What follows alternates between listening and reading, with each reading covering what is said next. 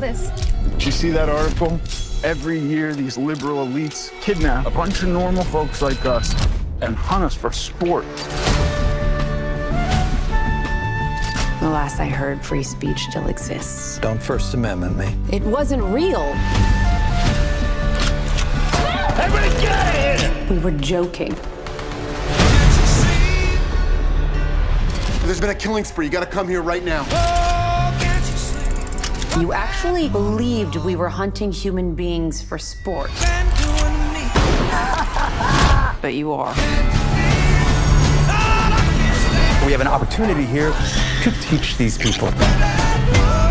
These are not real people. They're actors.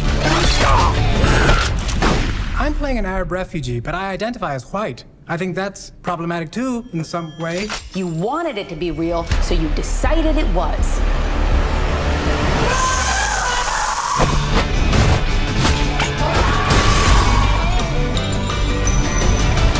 Of sick people would even think of something like that? White people.